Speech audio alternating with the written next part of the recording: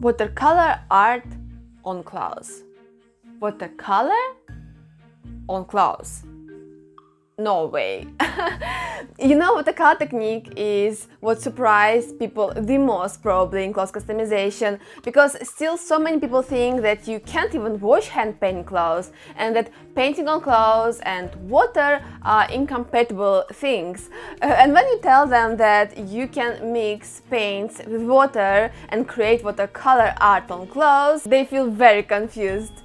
But it's true, you can create watercolor art on clothes and watercolor technique is one of the most beautiful techniques in clothes customization and you can create so beautiful, so cool clothes using it. And I'm gonna show you how in this video. I'm Daria and welcome back to Art Fashion channel.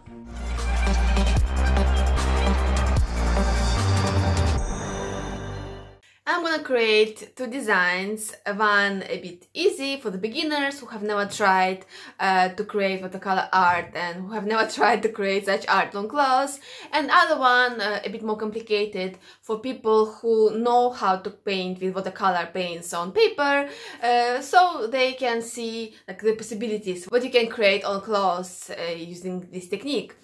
Uh, and by the way, even if you don't think to create such art on clothes, uh, if you work in other styles, I still recommend you to watch this video until then because even if you don't want to create watercolor art, you can use this technique, uh, for example, for the background. And such background can make your design much much more interesting. And yeah I will show you examples later as well. So yeah let's get started and first I'm gonna customize white crop t-shirt. Uh, if you want to create watercolor art, I recommend you to choose white color clothes because on white color, watercolor effect will be more visible. First thing which I'm gonna do is I'm gonna stretch wrap cardboard which I'm gonna put inside of a t-shirt to prevent paint bleeding through. As I'm gonna use large amount of water, cardboard will get wet and there is a big risk that some parts of the cardboard will stick to a fabric and it will be pretty hard to remove them. So the best solution is to stretch wrap cardboard to prevent it from getting wet.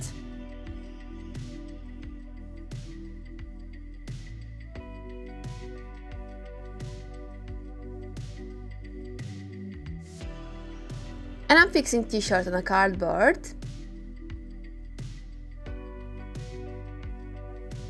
And here is design which I'm gonna create, two veils design. And first I'm gonna sketch out design on a t-shirt with pencil. Uh, you can use also transfer paper to transfer your design from paper to a t-shirt, but you should be very careful uh, to don't create such very dark lines uh, because uh, watercolor paint will not be able to cover up such dark lines and such lines will be visible and they will just ruin the whole watercolor aesthetic of your artwork. So if you want to create sketch, it should be very very light, such nearly invisible sketch, such very bright lines you should create. And here is fabric paint which I'm gonna use. yes, of course I'm gonna use fabric paints. And brushes. Uh, one brush is for watercolor, it's very soft brush. And other brushes are for acrylics. They're not so soft, but I also will need them. Yeah, I will show you later how. so let's start painting and first I'm creating outline because it will be easier for me to work when I clearly see the shape. But again I'm creating such very light bright nearly invisible outline because I want to create such very very watercolor uh, design without any graphic elements. And here are colors that you're gonna use and brush. First I'm gonna use brush for watercolor. Uh, so how to turn fabric paints into watercolor paints is simply by mixing them with a large amount of water. Uh, and in watercolor art we don't use white color. Water is a white color and if you want to create light tones you add more water. If you want to create dark tones you add less water. And actually paints which I'm using are paints for painting on dark clothes and they have very good coverage. But just mixing them with water I am able to turn them into watercolor paints. It's very interesting. So the process of creating watercolor art on fabric is pretty the same as the process of creating watercolor art on paper. Uh, probably it's a bit harder uh, to uh, control the paint and to create clear shape. Uh, because if you touch uh, paper with brush there will be a spot but if you touch uh, fabric with brush there will be a stain probably the only way to create clear shape is to create first very clear outline which will kind of hold paint inside but I didn't create such clear outline as you can see because I thought that such a blurry effect will look very beautiful it will look like veils kind of flying so yeah, that's my decision. But if you want to create clear shape, you should create very clear outline first. And also one tip, if you want to create such more clear artwork, uh, don't use too much water near the edges of your object because the less water you use, the easier for you will be to control the paint because paint will not uh, expand so much on the surface of fabric if you use less water and yeah, also if you want to create some graphic elements, some clear lines, again, just use small amount of water, don't use too much water.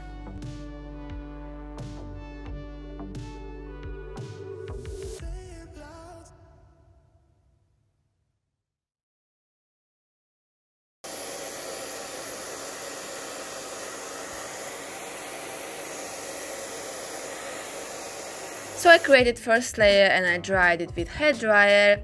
And now as you can see my veils turned out very blurry. And yeah I want to keep this blurry effect but still I want to make veils a bit more clear. So I'm applying second layer but this time I'm adding less water to create more clear edges.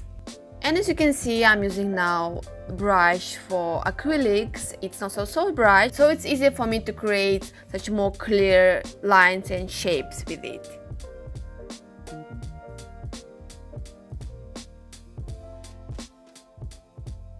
And yeah, I'm pretty happy with the result. Veils a bit blurry, but still you can understand that it's veils. And now it's time to create a background. And for the background, I'm using a big flat brush and I'm creating strokes in the direction of movement, veils movement, to add a bit energy to the design.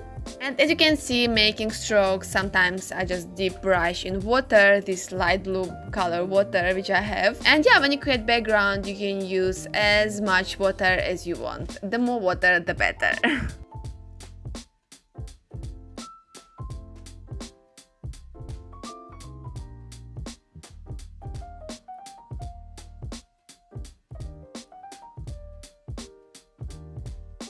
And paint splashes, uh, you know how I love to create paint splashes, but in watercolor designs, I just think that they are necessary.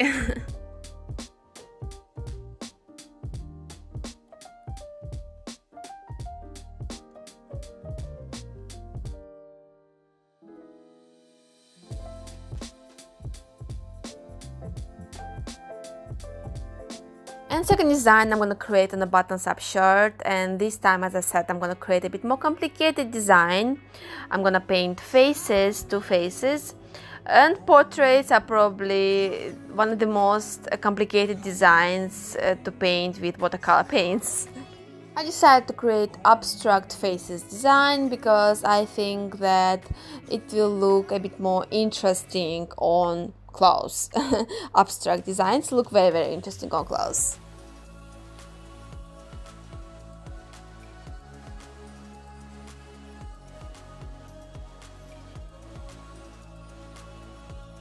And colors uh, pretty the same colors blue colors but this time I'm gonna use a bit more purple and pink. And I'm gonna start with the background. Uh, first I decided to create a background and then create faces. And again first I'm using brush for watercolor soft brush. And I'm making strokes in different directions. I'm creating paint splashes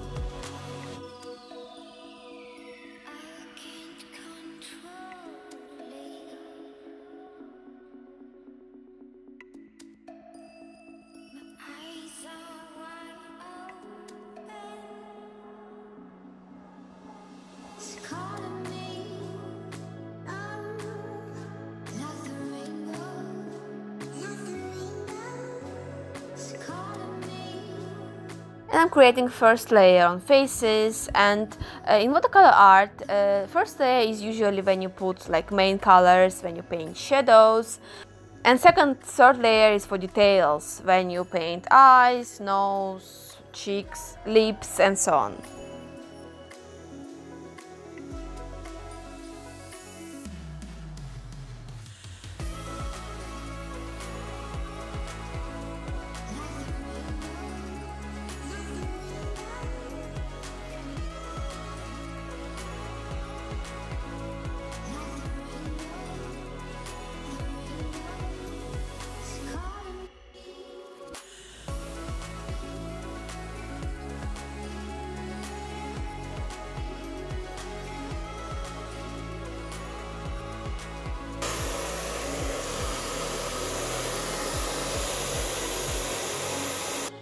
again first I dried first layer with a hair dryer and now I'm gonna paint details and I'm gonna use a brush for acrylics. And to paint details not only you can add less water but also you can uh, remove excess of water from brush using some piece of fabric some old t-shirt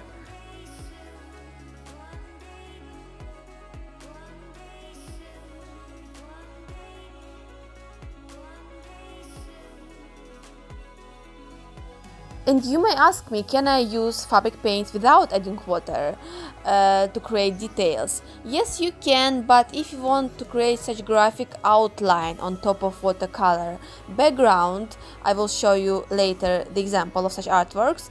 But if you want to create such watercolor art as I'm creating now, I don't recommend you to use only fabric paints without water because fabric paints without water have pretty good coverage and they will just ruin this whole watercolor aesthetic of your artwork.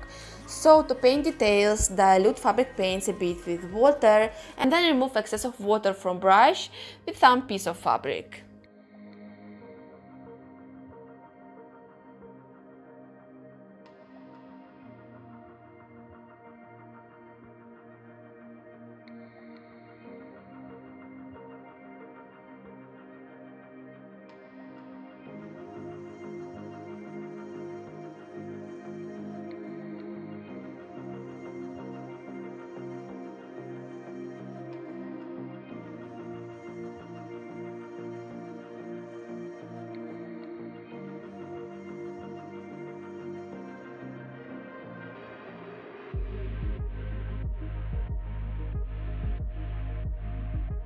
Well, I showed you what you can create using only watercolor uh, technique on clothes, but you can actually mix watercolor technique with graphic elements, or you can incorporate uh, watercolor technique in all kind of designs.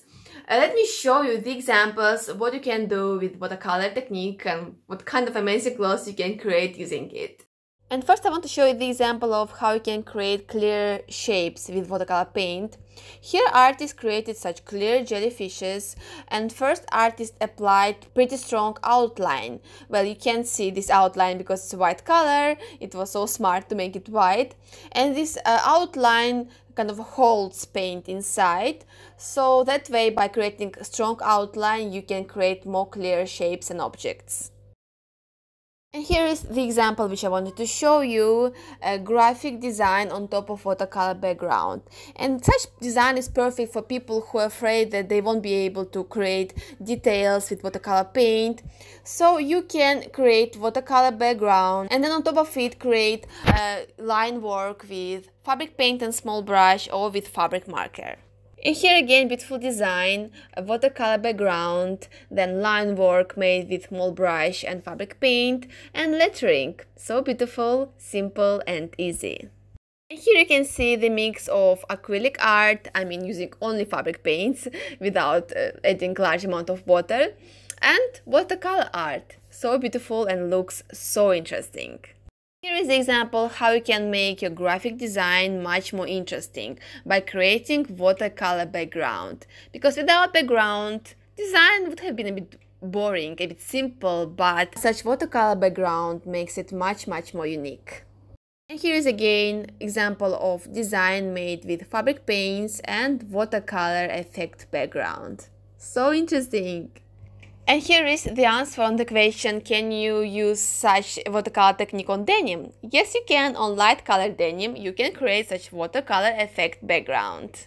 Well guys, let me show you the final result of what I created in this video. And as always, ask for your support, for your likes and comments.